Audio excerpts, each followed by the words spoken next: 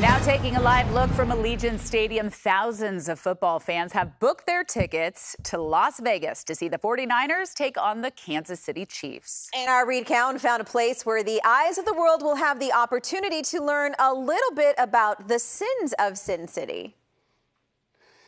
Yes, you're going to learn a lot more about organized crime in the United States and how it really took a foothold here in Las Vegas. We are coming to you live from the Mob Museum in Las Vegas, where they expect thousands of Super Bowl fans to punch a ticket here to have this experience about organized crime. And you know, when you are here, you kind of start to feel yourself transform a little bit, kid. You start to see these guys, and you realize you're in big trouble, right?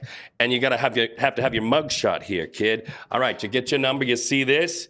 They take your picture, and this is a lesson for all you kids out there. See, mind your p's and q's. Watch.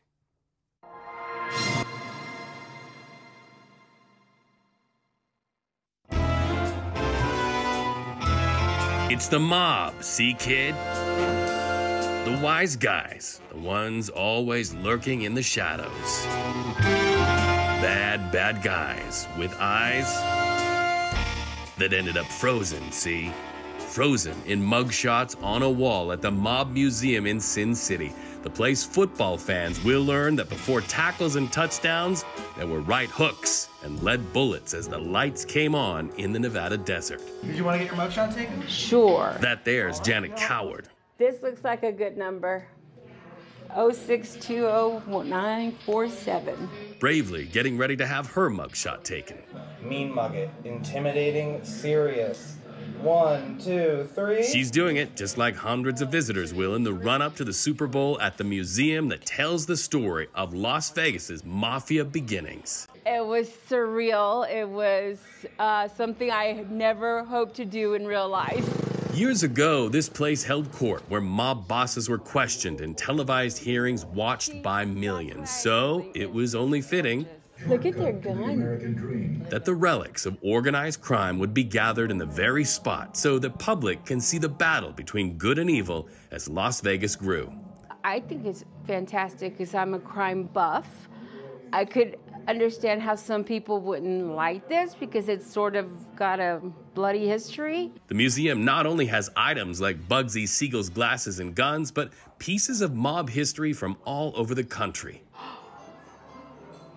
The wall. Janet gasped when she saw the actual bullet ridden wall from the 1929 St. Valentine's Day massacre that killed seven as mob members were lined up and shot up.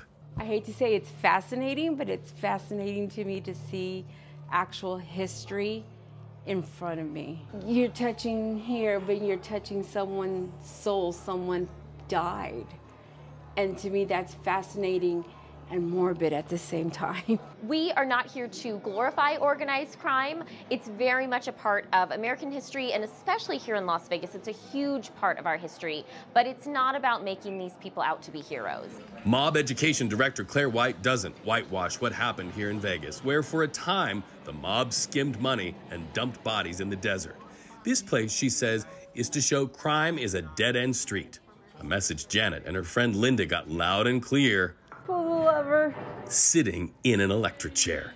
Ouch.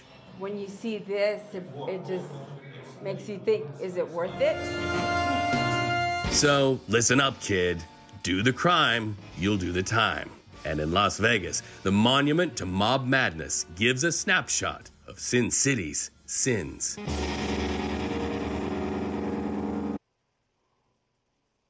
All right, so you got me. I copped to everything.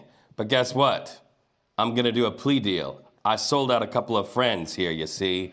Look at this Gianna the Boss Franco and Nicole Shade Zalumis. I turned you in. That's how I'm gonna walk free. I'm gonna hit mm. Las Vegas Boulevard and I'm going to the Super Bowl, baby.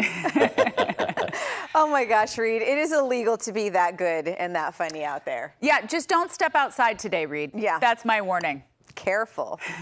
Giving up the good.